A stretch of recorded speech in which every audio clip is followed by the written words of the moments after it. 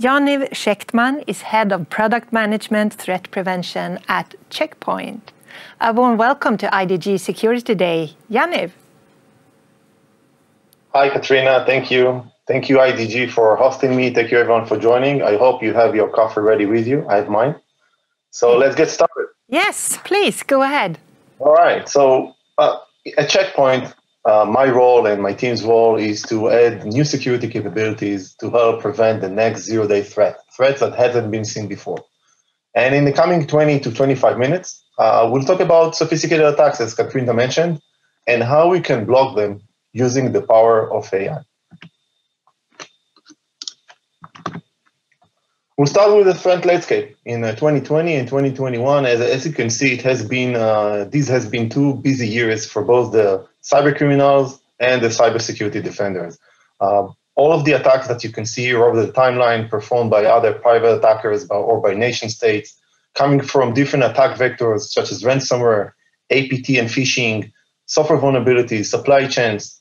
And in the first part of my presentation, what I will do is give you examples focusing on the tactics of the attackers for each one of these attack vectors. And in the second part, per tactic, or sorry, per vector, what I will do is show you how you can, how security product can prevent them uh, by using the power of AI. We'll start with ransomware, and I'm sure that you've all heard uh, the term, or you're all familiar with the term of ransomware, and you all heard about the latest attacks of the Colonial Pipeline and the largest uh, meat supplier in the US, uh, ransomware is, known, is a known uh, issue and a known vector. However, if you focus on the tactics, and, and, and that's what I uh, wanted to show in this slide, if you focus on the evolution of the tactic itself, you can see that there was a growth and that there was a progress from the attacker's side. Uh, starting from 2013, the CryptoLocker uh, ransomware, which simply uh, locked the device of, of a user, asking for ransomware ransom payment using Bitcoin. Bitcoin was not that expensive at that time. So it was easy to unlock the device.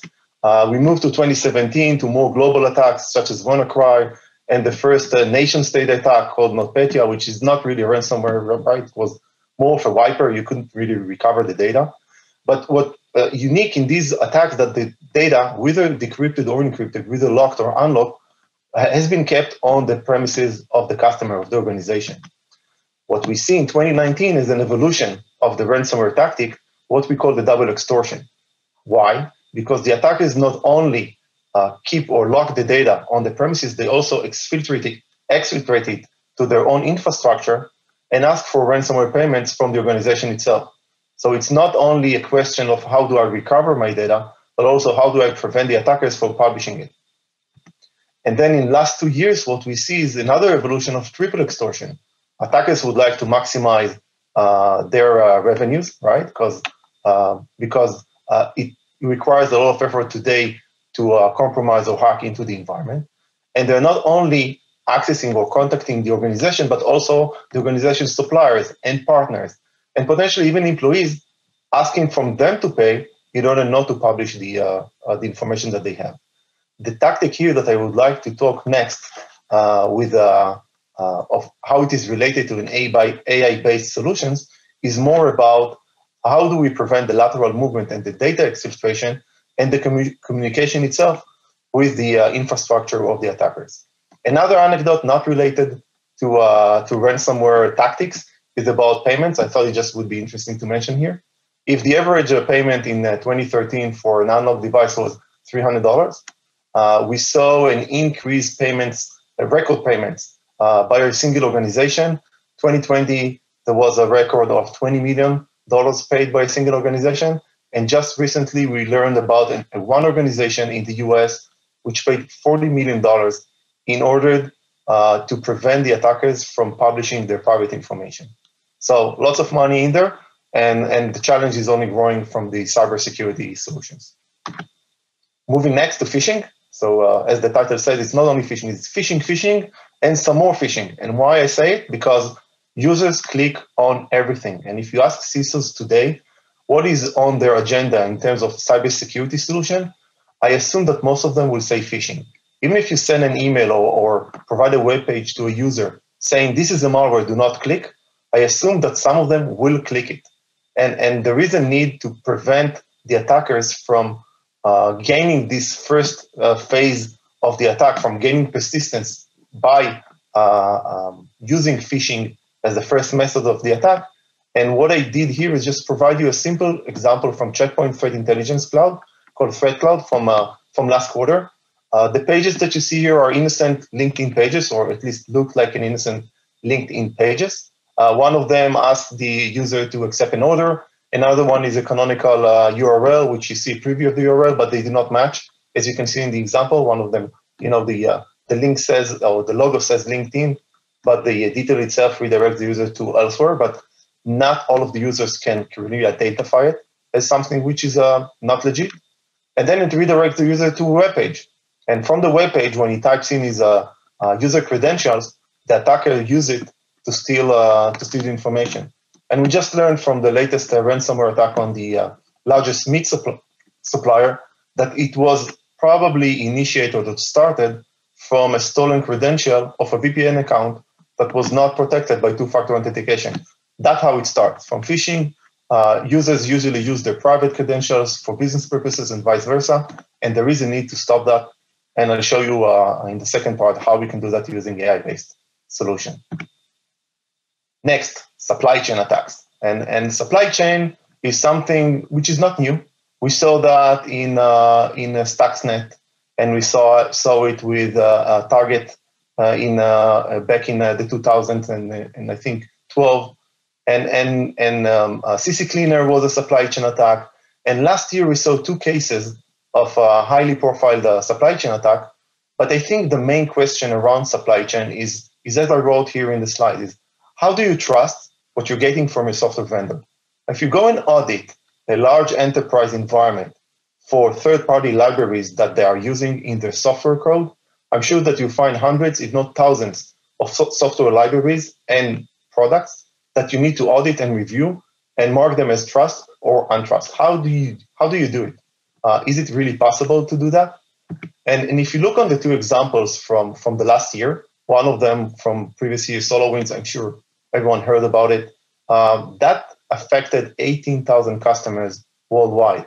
And CodeCov, which is the one that recently occurred in, in the first quarter of 2021, affected 20,000 customers worldwide. And just to show you how simple that is, it is sophisticated, very sophisticated for the attackers to go and, and compromise a, a supplier environment. But eventually, what they do in, in SolarWinds, they only replace few code lines. And in CodeCov, the only thing that they did is change an IP address from the uh, from the vendor source code. So again, uh, a small change, a, a, huge impact on your environment, on, on the environment that you use. And you can only we can already see that from a, a Japanese e-commerce company called Mercari that because of CodeCov attack, 27,000 customer records have been exposed uh, uh, from their environment. So huge impact on privacy. And, and again, I will show you uh, what we can do using AI. And the reason I'm showing uh, the second slide, which is a bit technical, okay, don't be scared, it's okay. Uh, what, I'm, what I show here is taken from Microsoft is the attack phases of SolarWinds. And the only purpose I show it is because of the red parts, the one that actually communicates back with the attacker infrastructure. So if you look on the first stage where the attacker gained or the attacker compromised the supply chain, maybe there's not much to do, to do there. But in the second stage, third and fourth stage, when the attacker gets um, uh, or uh, is able to load something to the environment and trying to get persistence and to move laterally, and of course report back to his infrastructure and get further input, further commands on what to do next, this is where we can catch it, catch the traffic or catch the behavior and terminate it using AI-based solutions. Another example is a, is a software vulnerabilities, zero-day software vulnerabilities, and the most known one in, in uh, 2021 was the Exchange server vulnerability for uh, Microsoft Exchange servers. And, and what I brought here over timeline is just the, uh, uh, the chain of events that eventually uh, brought the attackers or brought uh, an attacker to initiate a ransomware attack on, based on, on that vulnerability. It all started in January, where the uh, a research uh, team from China discreetly reported to Microsoft about that vulnerability. A day afterwards, it has been exploited already by a hacking uh, team called Hafnium, right? So much for sense of urgency, one day. And then in March, uh, Microsoft released an urgent patch for, uh, for the Microsoft Exchange. Of course, it, it, here at Check Point, and I'm sure with other vendors, uh, these were uh, all the protections has been uh, put in place. We updated all of our products with to secure these vulnerabilities, but not all of the organization followed that. So in March 5th, and then you could see in March 26th, uh, there was a ransomware attack based on that on these vulnerabilities, and and according to our checkpoint research team, most of them uh, were affected in the United States. So again, uh, zero-day vulnerability, not easy to find, not easy to prevent, but what we can further do in order to block that attack. And the next slide, again, a bit technical, don't be afraid. Uh, the only purpose I show it here is to uh, show you the uh, infection chain and what happens at the end of that infection chain. Okay, so attackers are exploiting that vulnerability, regardless to the tactics themselves.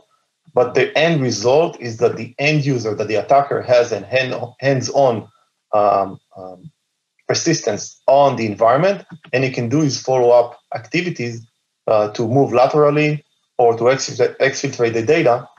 And how do how can we prevent that using AI-based solutions? Last but not least, is not related to uh, the actual uh, vector tactics. It is more related to the security admins, because there are many solutions out there today, many vendors who provide their own uh, cybersecurity solution, who claim they, they have the best solutions uh, um, in the industry. And CISOs probably would like to have their security stack equipped with more than one vendor, not to trust one vendor. Uh, and, and eventually it looks like that right? These are the all the solutions that you can uh, select today to secure your network, your cloud, uh, the access of your users to the corporate assets. And if you use more than one uh, one product for the security admin, it is a very complex task. How can he monitor or correlate events that are coming from these products, not necessarily from the same vendors? And what we can do here in, in terms of administration in order to make his professional life easier. I show it to you, very interesting solution. And that summarized the first uh, part of my uh, presentation. Uh, I showed you how we can, uh, uh, examples for attack vectors such as ransomware, uh, software vulnerabilities, supply chain, even administration. And the second part will give you example per tactic, how security solution can prevent these attacks using the power of AI. First one is a deep learning framework. And to explain what is a deep learning framework, let's go backwards to uh, an AI algorithm uh, called uh, machine learning. Machine learning or the classic machine learning is a subfamily of an AI algorithm. Deep learning is a subfamily of machine learning and the most advanced one. What is the difference between classic machine learning and deep learning? This slide explains. So the top line, and I'll show you later the, second, the uh, bottom line, the top line shows a flow of a classic machine learning uh, algorithm training and result. How can you how can you use classic machine learning in order to identify that the image uh, that is being processed is Mark? What is needed is a domain expert, and as you can see, the domain expert itself extract features or define features. He looks on the image and tells the algorithm to look on the distance between the eyes or the width of the nose but what if he forgot to define the, um, let's say, the distance uh, of his pupils? It means that he lost information and the algorithm will not be accurate. Deep learning is more advanced algorithm because it processes all of the data. It processes all of the pixels of the image of Mark, those the result is higher or is more accurate. And same goes for cybersecurity and files if you look on an, a malicious executable file, let's say a ransomware file that has been dropped by, uh, by a dropper, um, and, and if you use a machine learning algorithm, it means that the admin or the security uh, domain expert needed to define all of the features of that specific executable file, specific ransomware. For example, who certified it, who signed the file, what is the operating system that the file needs to work on, and so on and so forth. If he misses one of the features, it means the detection is less accurate. With deep learning, you process all of the bytes of the files, the raw bytes, meaning the result is more accurate. And what we had uh, in 2018 in our threat intelligence cloud called Threat Cloud is we introduced a machine learning algorithm to in order to identify malicious executables. But over over time, you need to find a way to uh, uh, catch up with the evolvement of the threat landscape. And last year, we introduced or we added our environment a deep learning framework model, and those results clearly shows 30% improvement in our detection rate and 90% reduction in false positive, which in some cases are as, as important as being accurate, meaning the admin doesn't want to see false positive events. Deep learning helps them to, uh, to eliminate 90% of these events. Another use for an AI-based uh, solution with phishing, remember the LinkedIn uh, example that I gave you, is looking for indicators. Here, a classic machine learning actually is the right method to do because you cannot process the raw bytes of a LinkedIn of a LinkedIn page, right? You do look for indicators, and and what I show here are visible indicators, things that you can see from first sight, without even digging into the code. We do that further analysis also, but even if you look here on these pages, for example, the uh, tab of the LinkedIn webpage, uh, the uppercase I in the LinkedIn, is it an uppercase I or a lowercase L? How can you define, how can you identify it uh, with uh, by a regular user, right? This is why we have the AI-based algorithm to identify it for us, and we do far more, far more than that. Dozens of indicators that are being collected for each one of, uh, of a page, uh, and and that helps the the user to know whether the phishing or the page that he's browsing is uh, likely to be a phishing page or a legitimate one.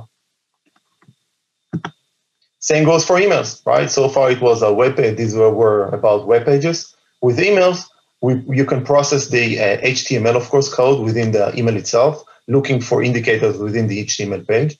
You can also use NLP, uh, another AI model, to identify an extortion or payment speech uh, or payment uh, uh, method like pay me now uh, emails, even if the language itself by itself doesn't seems to be malicious, the combination or the context of the language can tell can tell you that this is not something you would like to get into your organization. And with branding impersonation, what our research team found that 90% of the phishing attack are being using 20 brands. Um, and, and if you focus on these 20 brands, you can cover most of the phishing attacks. And this is what we do. We compare uh, and logos, uh, whether these are legitimate or not. Uh, and we do more other, other things, as I showed you with the LinkedIn example, in order to prevent uh, branding impersonation and, uh, and other phishing uh, related uh, uh, tactics. Remember the part where the data is being exfiltrated and sent back to the attacker infrastructure?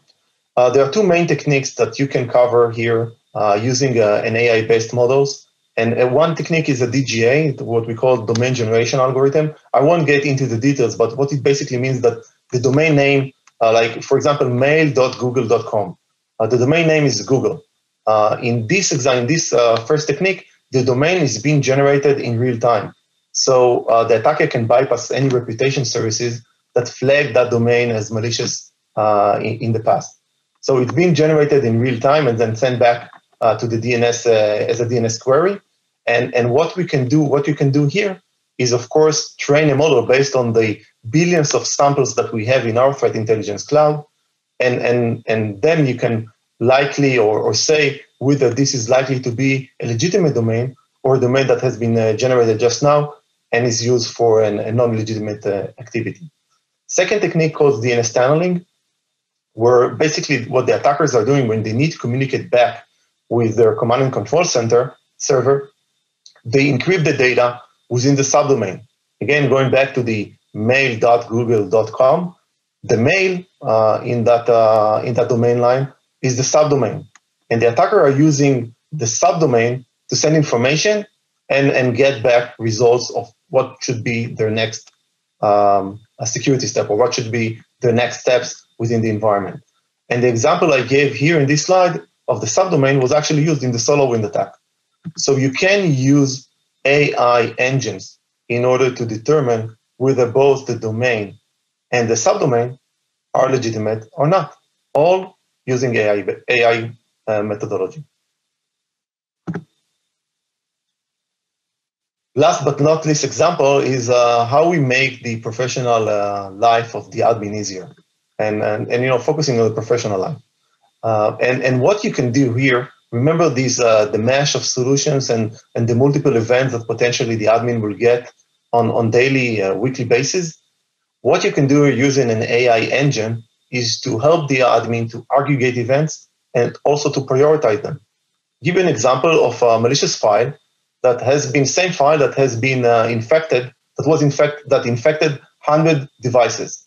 Do you want to see 100 separate events, or you want to see one event telling you that there is one file that infected 100 devices? There is a way to help the admin to aggregate these events and only address the file and then later do the remediation all, on all of the other devices. Same goes for the priority.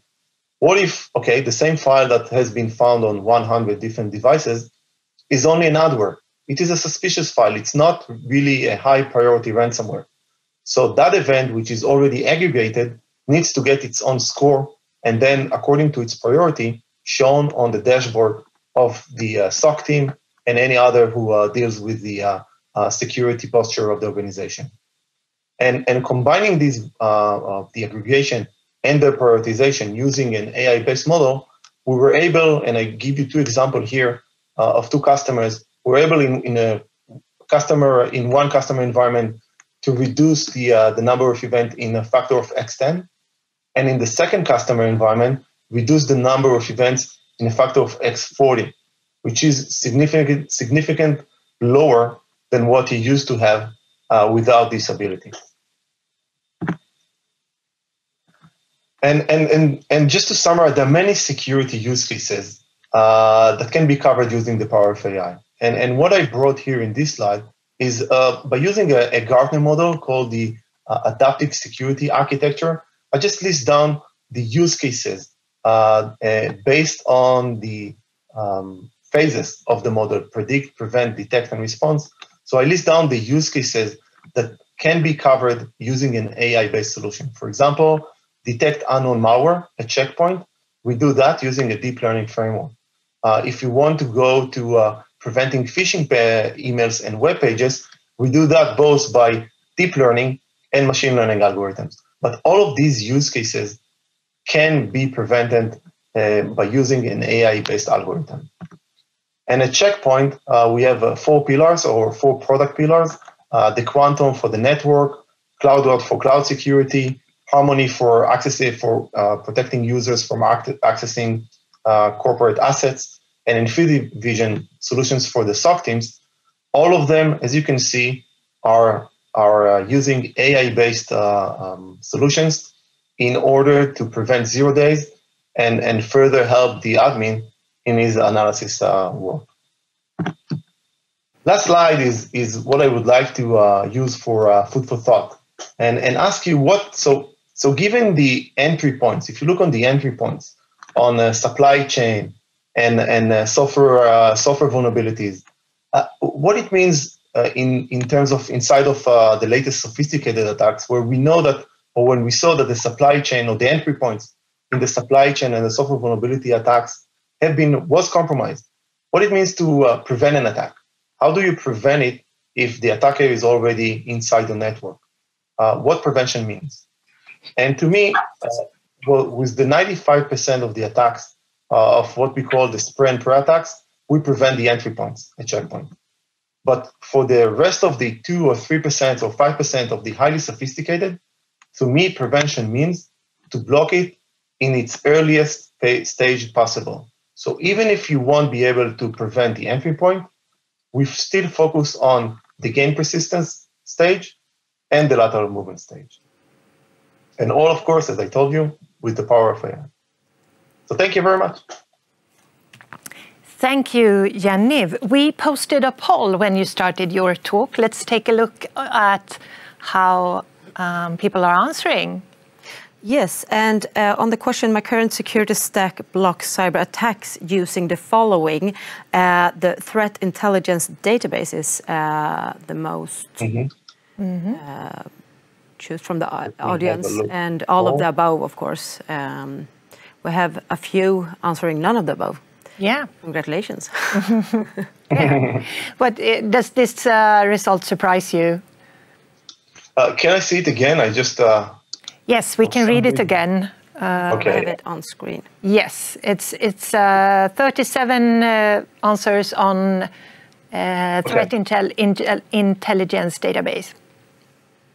Most of them are using threat intelligence database. Yes, yes, 40%. Yeah, so uh, it, it, doesn't surprise me um, much, I, I, have to say, because the use of AI is still, uh, or the focus on using AI is still young, right? Uh, highly or advanced security products are, are introducing more and more AI-based solutions, but still the majority organizations of the organization are still uh, uh, dependent on reputation services, on uh, big data um, information, uh, we do have it at Check Point, uh, again called Threat Cloud, uh, sees billions of transactions on daily basis.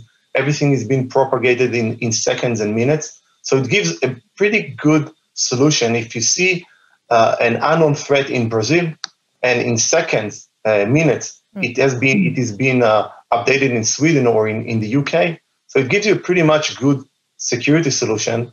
But what if the first unknown sample is seen in your environment and not in an, in another in other environment. Yeah. How do you protect that? And for that, you need an AI-based solution.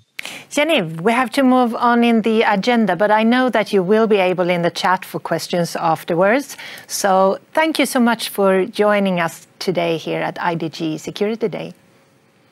Thank you as well, and, and great for uh, thank you IDG for hosting me, and uh, have the rest uh, have a great rest of the day.